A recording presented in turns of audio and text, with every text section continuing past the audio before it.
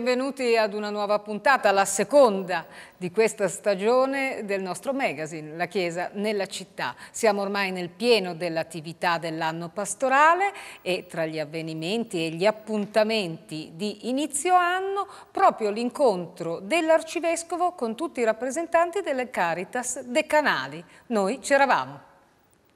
Milano è frammentata, non ha ancora un'anima adeguata ad affrontare il travaglio in cui siamo immersi, per questo ha bisogno di un nuovo umanesimo. E voi siete ancora una volta gli interlocutori privilegiati per realizzarlo. L'invito dell'Arcivescovo arriva diretto agli oltre 300 operatori e volontari Caritas riuniti al Centro Pastorale Ambrosiano di Seveso per la trentunesima edizione del convegno delle Caritas Decanali intitolato Pane e Parola, le radici della fame, il nostro impegno. E ancora, dice l'arcivescovo, ascoltate i bisogni di chi vi chiede aiuto, siate concreti, attivi, ma fatevi interpreti della carità prendendo a modello i grandi santi, coloro che seppero coniugare l'azione con l'intelligenza e produrre così il genio.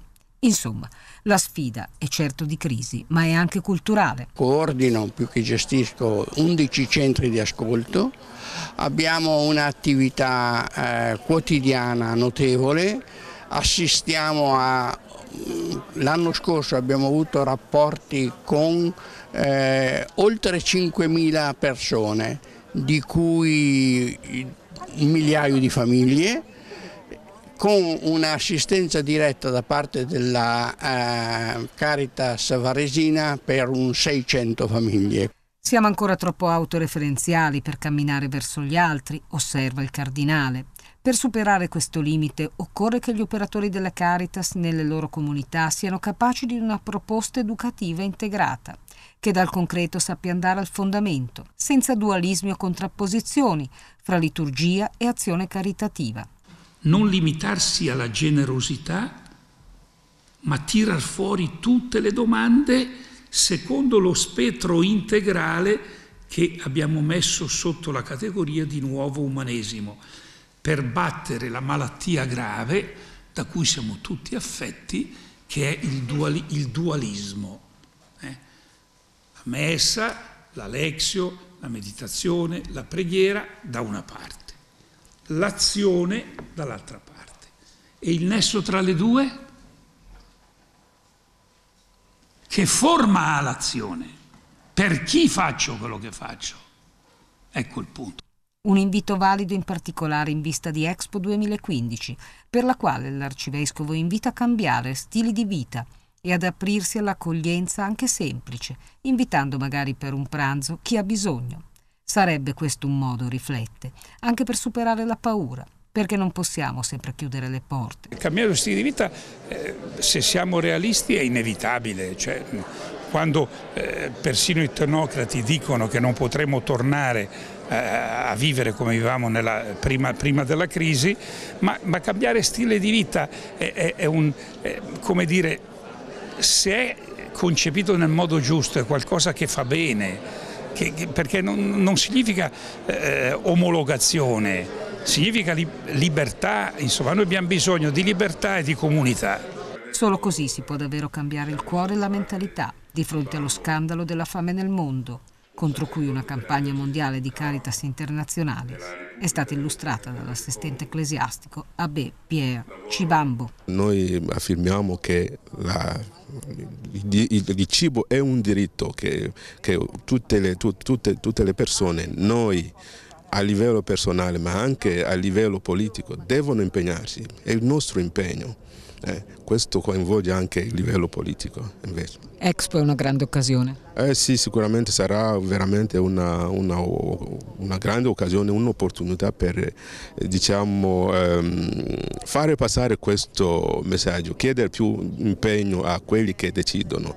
Eh, quelli che possono avere realmente una decisione forte per porre fine a questo scandalo, perché è un scandalo che nel mondo di oggi ci sia qualcuno che muore di fame. E pensate che proprio a Milano il presidente di Caritas Internazionalis, il cardinale Maradiaga, aveva lanciato qualche mese fa eh, la campagna per eliminare la fame dal mondo. Obiettivo possibile, come abbiamo anche sentito. E d'altra parte il legame con Expo è evidente, visto che l'esposizione nazionale internazionale si intitola Nutrire il pianeta, energia per la vita. E siccome la nostra Chiesa è schierata davvero in prima linea su questo questi temi e anche nel trasformare Expo da mera, diciamo così, vetrina per un brand come può essere quello di Milano, veramente in un'occasione di crescita. Ora un'altra iniziativa legata a Expo 2015 eh, che dice come si può essere contemporaneamente generosi, solidali e anche farlo con grandi eh, capacità. Vediamo. Gratuità, impegno per chi è in difficoltà, bellezza della struttura, artisti che si cimentano con le loro opere per abbellirla, progettualità del Politecnico di Milano, la gestione Caritas, la diocesi di Milano coinvolta, il cibo interpretato per Expo da 40 chef famosi nel mondo, che, animati da Massimo Bottura, per un mese durante Expo cucineranno con le eccedenze alimentari prodotte dall'attività di ristorazione del sito espositivo. Che legame hanno tra loro tutte queste eccellenze che fanno grande Milano e onorano l'Italia? Molto, perché si ritrovano, ognuno portando il proprio contributo a titolo gratuito, nell'iniziativa Refettorio Ambrosiano, che sta sorgendo con il restauro dell'ex teatro annesso alla chiesa San Martino nel quartiere greco, che vedrà così il nascere abbellito dalla creatività di artisti contemporanei notissimi, da Paladino a Cucchi, solo per fare due nomi, non solo di una mensa solidale che rimarrà alla città, ma uno spazio di arte vero e proprio, dove persino il forno del pane e i dodici grandi tavoli su cui si mangerà sono frutto notevolissimo di artisti e designer. Ci troviamo davanti al bozzetto, diciamo così, del portale di questo refettorio. Sarà un entrare anche per uscire diversi, refettorio, reficere, rifarsi in qualche modo. L'intenzione è che quel luogo non sia semplicemente una mensa, anche se è una mensa pensata per quello che dovrebbe essere sicuramente un luogo positivo, ma ormai il termine mensa è diventato un luogo anonimo per noi, è legato soprattutto al mondo del lavoro, siamo tornati all'idea del refettorio per dire che il cibo diventa quello strumento che crea legami e in quel modo trasmette valori, trasmette simboli, l'idea che quella sala faccia questo lavoro e fino al 22 settembre, nella prestigiosa cornice di Palazzo Cicogna Mozzoni, saranno esposti bozzetti e disegni preparatori del refettorio. L'idea di, che mi è venuta è quella di fare qualcosa di assolutamente permanente, che rimanga alla città, dotare la città di un luogo che rappresenti la città in tutti i sensi, la città operosa, la città creativa, la città progettuale, no? la città della generosità. E a proposito degli artisti, appunto, il uh, Mimmo Paladino, Maurizio Nannucci, uh, Enzo Cucchi, ognuno di loro Paladino ha fatto questa, questa porta dell'accoglienza più la vetrata, eh, qui ci sarà un affresco di Enzo Cucchi, qui ci sarà appunto il, esternamente qua da questa parte no more excuses, no? Basta eh, basta scuse. Anche il refettorio come rifugio, come tanti altri servizi Caritas eh, tenteranno di proporre questo percorso e questi progetti eh, e quindi appunto non vogliamo rispondere a tutti i bisogni, vorremmo proporre dei percorsi del, di emancipazione e, delle, e dei risultati appunto che si sperano poi in qualche modo realizzabili con la collaborazione e il coinvolgimento della persona in difficoltà. Quanti posti? Sono un centinaio di posti eh, che appunto potranno, sono inseriti in questo refettorio che potrà essere utilizzato anche per eh, la parrocchia, per la comunità, per il quartiere. E dunque il refettorio ambrosiano continueremo a seguirlo perché il bene bisogna farlo bene, lo diceva un grande apostolo della carità, Dognocchi, e poi la solidarietà è un'arte. E ora per noi una segnalazione. Sabato 27 settembre alle ore 8.30 in Duomo il Cardinale Scola conferisce l'ordinazione diaconale ai candidati al presbiterato, cioè a quei giovani che diventeranno preti, ambrosiani, novelli, il 13 10 giugno del 2015. E ora rimaniamo in Duomo con un rito sempre seguitissimo e suggestivo. Ogni anno, se anche lo si è visto più volte, vi assicuro che è nuovo. E quindi rito della nivola.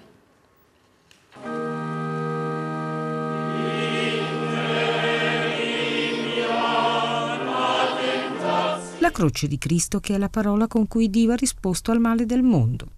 Appunto la croce che contiene la sacra reliquia veneratissima del Santo Chiodo scende sull'altare maggiore. È la celebrazione dei Vesperi primi nella festa dell'esaltazione della Santa Croce. Si compie in Duomo il rito della Nivola, con l'arcivescovo che personalmente sale alla sommità del catino dell'abside per prendere la reliquia tra le sue mani la nivola, nuvola in dialetto milanese, ossia quella sorta di ascensore un tempo sollevato da argani e funi, splendidamente ornata dalle pitture seicentesche di Paolo Camillo Landriani, sale per sette minuti. Il rito della nivola, dice subito il cardinale rivolto ai presenti, è molto caro ai milanesi, come la vostra numerosa presenza dimostra. A tutti, aggiunge, vogliamo portare con umiltà la testimonianza della croce il pensiero va alla grande professio fidei dell'8 maggio scorso, quando lo stesso chiodo e la stessa croce furono portati nei luoghi simbolo della città. La croce di Cristo è la parola con cui Dio ha risposto al male del mondo, una parola che è amore, misericordia, giudizio, dice il Papa, perché Dio ci giudica amandoci. È venuto non per condannare il mondo, ma per salvarlo attraverso l'offerta piena di amore della sua stessa carne. Che tutto questo, carissimi, abbia eco in noi in questi giorni e che noi possiamo offrire le nostre croci poi i canti, le orazioni, la commemorazione del battesimo, quasi vegliate dalla reliquia, della quale non si conosce con certezza l'origine. Però negli scritti di Sant'Ambrogio è indicata come ritrovata da Sant'Elena a Gerusalemme e offerta al figlio, l'imperatore Costantino, e da quest'ultimo lasciata in eredità i successori fino a Teodosio, che ne avrebbe infine fatto dono a Sant'Ambrogio.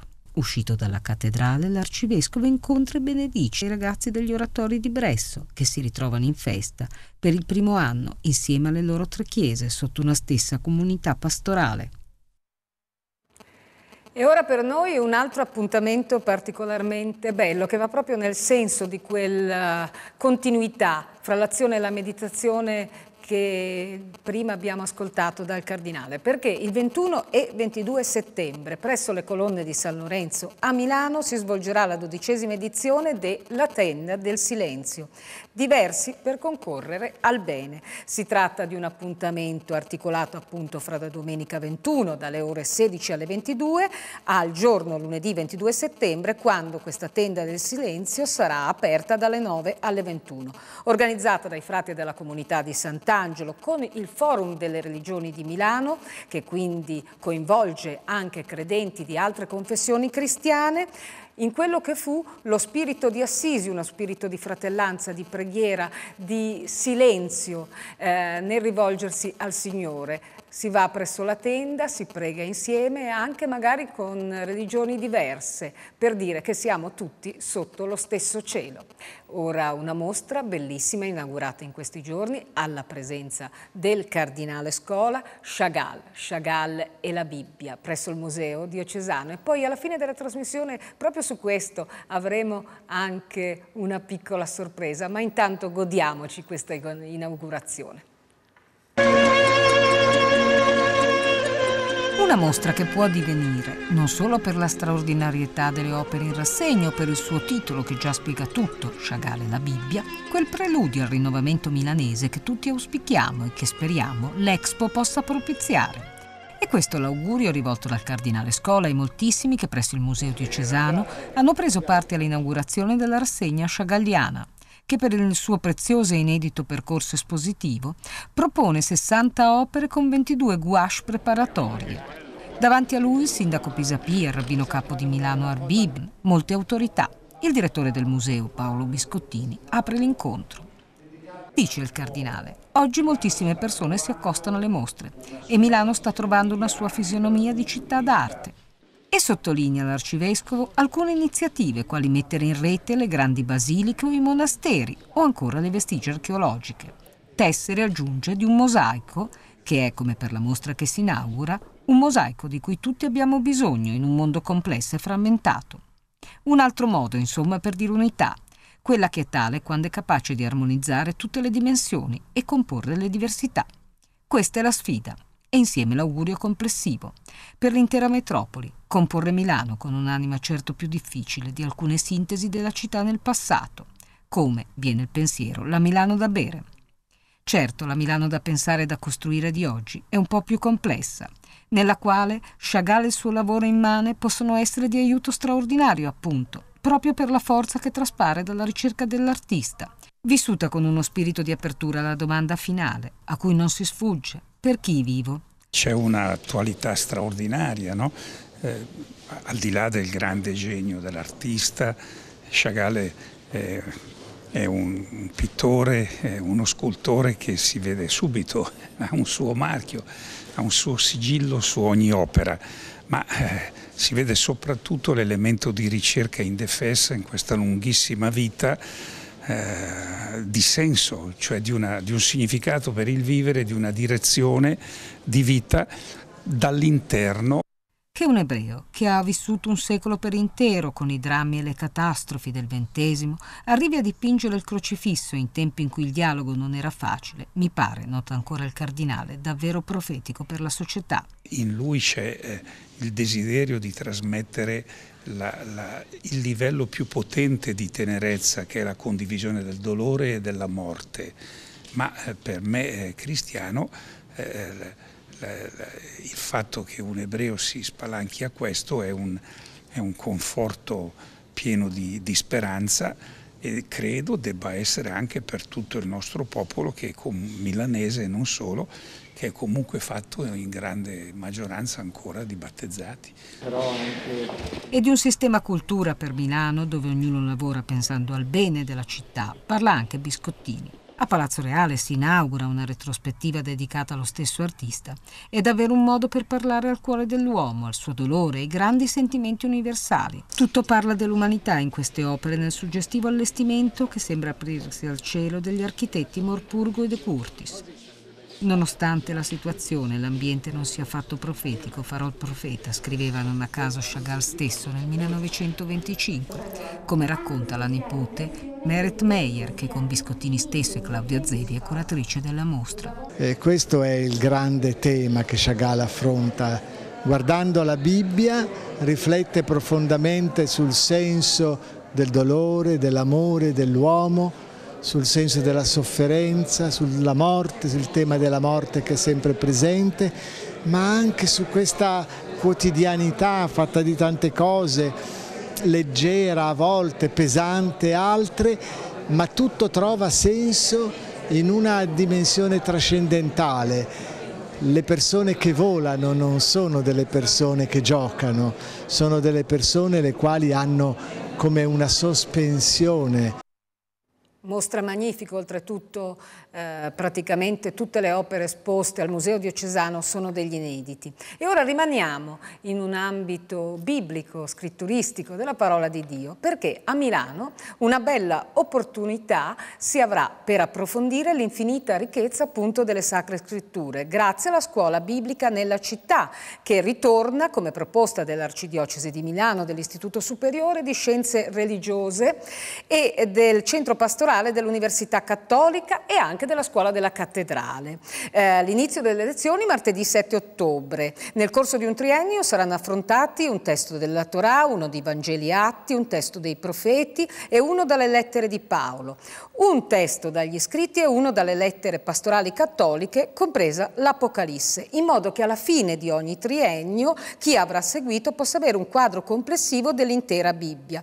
Le iscrizioni sono aperte presso la segreteria state vedendo l'indirizzo eh, elettronico, dicevo presso la segreteria dell'Istituto Scienze Religiose in via Cavalieri del Santo Sepolcro al 3 a Milano, dove ha sede la Facoltà Teologica dell'Italia Settentrionale e sarà possibile iscriversi anche online scaricando l'apposito modulo tramite il sito www.isrmilano.it. E adesso eh, vogliamo segnalarvi un altro appuntamento che ci è, permetteteci, particolarmente caro, proprio per la figura femminile della quale si parlerà, perché sabato 27 settembre alle ore 15.30 presso la comunità monastica Santissima Trinità del monastero di Dumenza in provincia di Varese al via la seconda sessione delle giornate sulle figure femminili in cerca del vero. Al cuore di questo questo momento di incontro Etti Illesum e sarà una conversazione tenuta da Fra Michele Davide Semeraro per il ciclo appunto Insegnaci ad indossare ogni giorno la nostra condizione umana. Et Iliasum fu figura femminile straordinaria, eh, nata proprio cento anni fa, il 15 gennaio del 1914, morì nel 1943, quindi non aveva ancora 20, 30 anni, ne aveva 29, ad Auschwitz. Ha lasciato dei diari e delle lettere che sono straordinari. Se non l'avete mai fatto vi consiglio di leggerlo. E adesso cambiamo argomento e parliamo della conferenza episcopale lombarda che si è riunita il 16 settembre scorso e a conclusione è stato stilato un comunicato sui temi che sono stati trattati dall'assemblea appunto dei vescovi lombardi. Hanno avviato un confronto per interrogarsi sulla ricezione del magistero e dello stile di Papa Francesco, approfondendo in modo specifico il tema a lui molto caro della Chiesa in uscita. Chiesa capace di cercare l'incontro con le persone, che si dispone a farsi compagna di viaggio in un cammino di popolo. Questo è uno dei contesti in cui si è articolata la sessione ordinaria della Conferenza Episcopale Lombarda, tenutasi a Caravaggio il 16 settembre e presieduta dal Cardinale Scola, metropolita della regione ecclesiastica appunto di Lombardia. Constatando che la formazione e l'esperienza pastorale consentono a Papa Francesco di offrire un linguaggio nuovo, giovane e incisivo anche per le chiese d'Italia ed Europa, i vescovi hanno tuttavia sottolineato la consapevolezza che molti aspetti del magistero papale devono ancora essere compresi da loro e tradotti in scelte pastorali incisive e praticabili nel contesto delle nostre comunità, con la freschezza di uno sguardo nuovo che sa riconoscere, in quante forme e con quanta generosità, le nostre comunità sono chiesa di popolo, ospedale da campo, pratica di povertà evangelica. Inoltre, sempre nell'ambito dei lavori, l'Episcopato lombardo si è anche confrontato in vista della preparazione dell'Assemblea Generale Straordinaria della CEI di novembre 2014, che avrà come tema dominante la formazione permanente del clero. È stata concordemente rilevata un'attesa da parte del presbiterio per indicazioni e proposte che aiutino i preti stessi a vivere questo momento storico, custodendo la fede l'unità interiore. Un'azione pastorale condivisa e caratterizzata dalla carità pastorale risultando acquisita un'idea di formazione permanente che impegni ciascuno a mettersi in gioco personalmente per vivere l'appartenenza al presbiterio come elemento determinante della pratica pastorale e qualificante dell'unificazione personale. Si è voluto così anche indicare, nei vescovi diocesani, una particolare responsabilità per indicazioni e per l'accompagnamento del presbiterio, al fine di realizzare una pratica di comunione che sia edificante e incisiva proposta pastorale. Abbiamo sentito richiamare Papa Francesco e il cardinale proprio sarà inviato speciale del Santo Padre per l'850 della traslazione delle reliquie dei Magi da Milano a Colonia tra il 27 e il 29 settembre. Infatti sarà nella città di Colonia in Germania, ma nella prossima puntata approfondiremo proprio la storia di queste reliquie che onorano diciamo, Milano e che poi furono trafugate dal Barbarossa. Insomma, una storia complicatissima che vi racconteremo. Adesso invece parliamo di sacerdoti anziani, perché proprio nel contesto dei momenti della conferenza episcopale lombarda, l'arcivescovo e tutti gli altri suoi confratelli vescovi hanno voluto incontrare i sacerdoti più in difficoltà, gli anziani, coloro che vivono ogni giorno la malattia. E ne è venuta fuori, ne è uscita una celebrazione eucaristica, ma anche un incontro davvero molto bello. Carissimi amati confratelli del sacerdozio, il cardinale Scola si rivolge così ai circa 200 presbiteri anziani e malati che incontra, insieme ai vescovi impegnati nella sessione ordinaria della conferenza episcopale lombarda presso il santuario Beata Vergine di Caravaggio, santuario molto amato dalla nostra gente, sottolinea. Prima il pranzo animatissimo dove anche l'arcivescovo prende brevemente la parola. Lo spettacolo teatrale Tutte grazie, tratto dal diario di un curato di campagna di Georges Bernanos. La benedizione di un mezzo di trasporto ammalati donato dalla sezione lombarda Unitalsi che organizza l'incontro. Poi la processione dal centro di spiritualità dei sacerdoti, dei vescovi e dei volontari con la recita del rosario, mentre diversi preti infermi attendono in santuario. Nella chiesa gremita di fedeli il cardinale presiede l'Eucarestia. Concelebrano 17 vescovi lombardi. C'è tanta gente, i barellieri, gli infermieri dell'unità si si mescolano ai malati.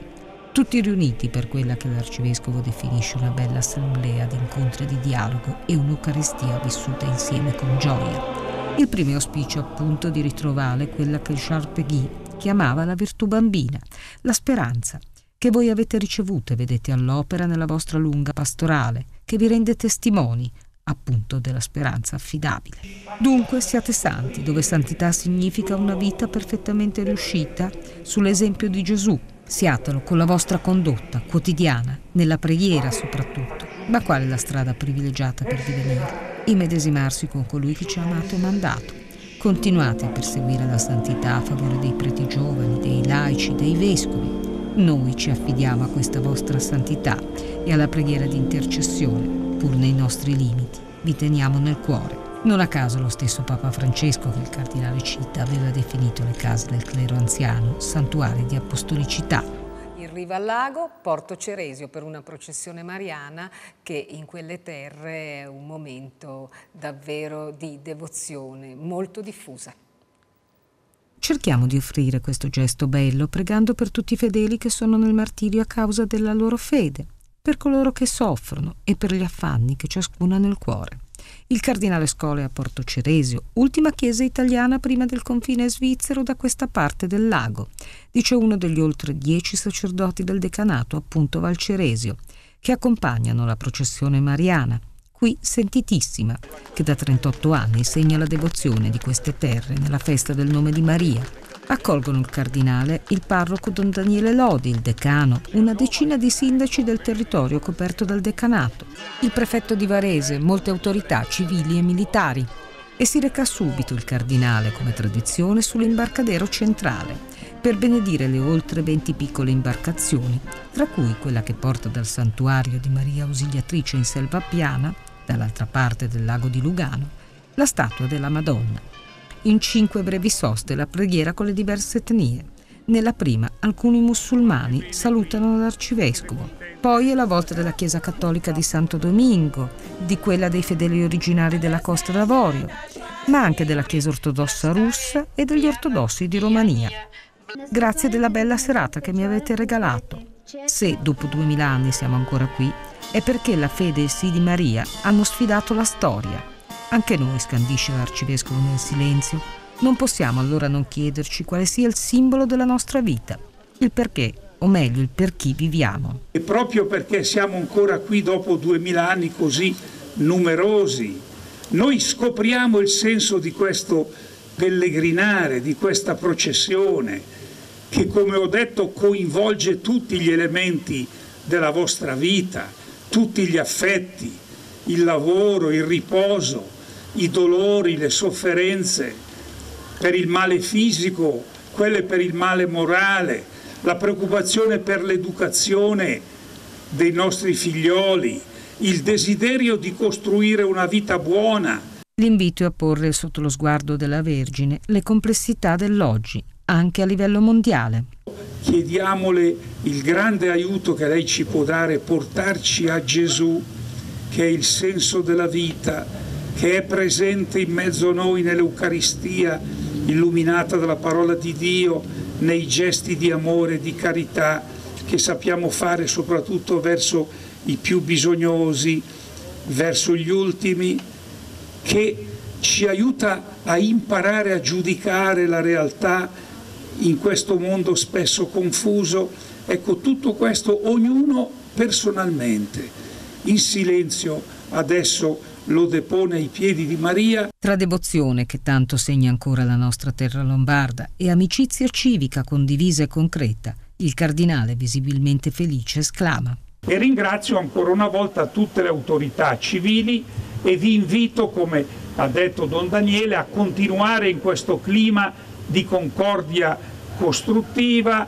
senza confusioni, distinguendo gli ambiti e vi sono anche grato per aver voluto mettere appunto in valore le diverse etnie che vivono ormai tra di noi e che dobbiamo imparare lentamente ad accogliere con verità.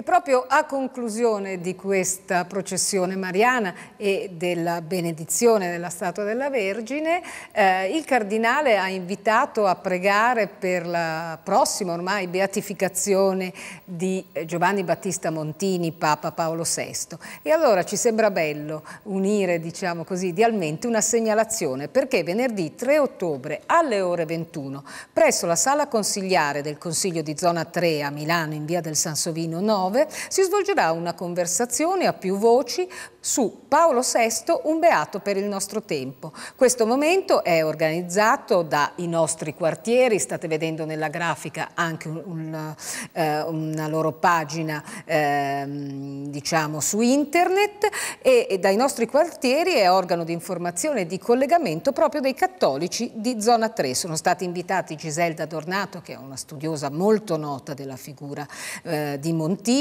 Alberto Ratti che è, già stato, è stato già presidente della Federazione degli Universitari Cattolici Italiani e Don Roberto D'Avanzo che è direttore di Caritas Ambrosiana. E ora invece eh, andiamo in una realtà diversa, non siamo agli estremi confini della diocesi, non siamo in una realtà tutto sommato di dimensioni piuttosto limitate, ma in una grande realtà della Brianza, il cuore della Brianza per molti, Seregno, dove ha preso il via una comunità pastorale davvero numerosissima, oltre 46.000 persone sono interessate da questa comunità pastorale pastorale, ma erano tanti gli eventi che il Cardinale ha voluto celebrare con la comunità seregnese eh, proprio domenica scorsa e quindi noi siamo andati a Seregno. Una visita fatta di molti momenti è quella che l'arcivescovo ha compiuto a Seregno. Trapassato ha infatti celebrato il duecentesimo anniversario della nascita del patriarca Paolo Angelo Ballerini, nominato arcivescovo di Milano nel 1859 ma impedito a prendere possesso della diocesi e sepolto proprio nella Basilica Seregnese, è ancora tra presente e futuro, poiché si è data avvio alla comunità pastorale cittadina, intitolata a San Giovanni Paolo II, che ebbe un'intensa relazione di amicizia con Seregno già quando era arcivescovo di Cracovia. Prima l'Oratorio San Rocco, struttura che celebra i 150 anni di vita e che rappresenta uno dei centri vitali di quella comunità educante, come il cardinale ricorda con particolare forza davanti appunto ai protagonisti della realtà oratoriana. Poi in processione verso la Basilica San Giuseppe per la celebrazione dell'Eucaristia, accompagnato dal vicario di zona, Monsignor Patrizio Garascia, dall'abate degli Olivetani Dom Tiribilli, da 20 sacerdoti, oltre che dalle tre confraternite cittadine. Presenti il sindaco Mariani, la vicepresidente della provincia di Monza e Brianza Colombo, il saluto di apertura è pronunciato dal responsabile della comunità pastorale, Monsignor Bruno Molinari. Il cardinale si lascia guidare dalle letture della domenica dedicata all'esaltazione della croce, insistendo sulla centralità appunto della croce nella vita del cristiano. E a proposito della neocostituita comunità pastorale cittadina, la indica come modello significativo per la Chiesa ambrosiana dall'educazione al gratuito alla testimonianza, al pensiero di Cristo, al centro culturale e così via, si vede che in questa città ci sono dal punto di vista ecclesiale, ma poi anche dal punto di vista civile, tutti i fattori necessari per affrontare i tempi che stiamo vivendo, trasformando la circostanza problematica in un'occasione di creatività e di propositività. Per questo vi raccomando moltissimo di tenere alla comunione tra le varie realtà.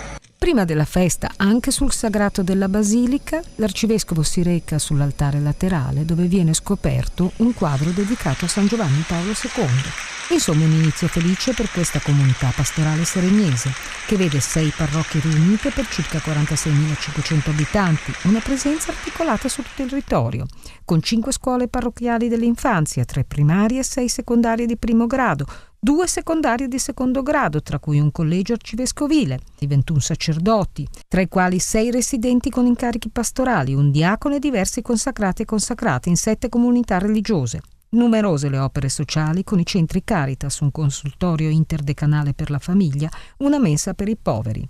Una realtà arricchita dalla presenza anche di tre altre confessioni cristiane da una pluralità di eventi culturali sul territorio.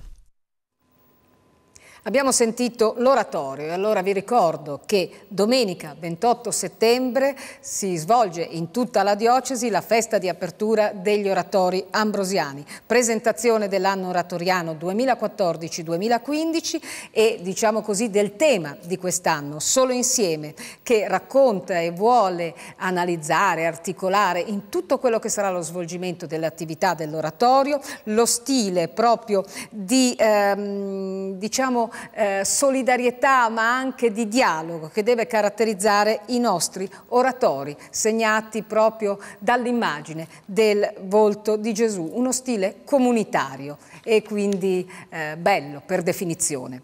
E ora però eh, concludiamo la puntata con una notizia che è una notizia che anche noi eh, naturalmente vogliamo sottolineare e ci uniamo al dolore della famiglia Paolina perché nelle prime ore di domenica 14 settembre è mancato improvvisamente Don Silvio Fausto Sassi, superiore generale della congregazione San Paolo. 65enne con oltre un cinquantennio di vita paolina alle spalle e 37 di sacerdozio, Don Sassi si è spento nella casa generalizia di Roma improvvisamente. Nato a Vezzano sul Crostolo, Reggio Emilia, il 10 luglio del 49, 19, già a 11 anni, nel 1960, il futuro superiore generale della congregazione era entrato nel vocazionario paolino. Poi, naturalmente, tutti i momenti, gli step eh, del, mm, di questa sua vocazione, riceve l'ordinazione sacerdotale il 29 giugno del 1977. Direttore dello studio paolino internazionale della comunicazione sociale, semiologo, teologo, grande esperto anche della realtà della comunicazione, fu docente proprio di etica e comunicazione.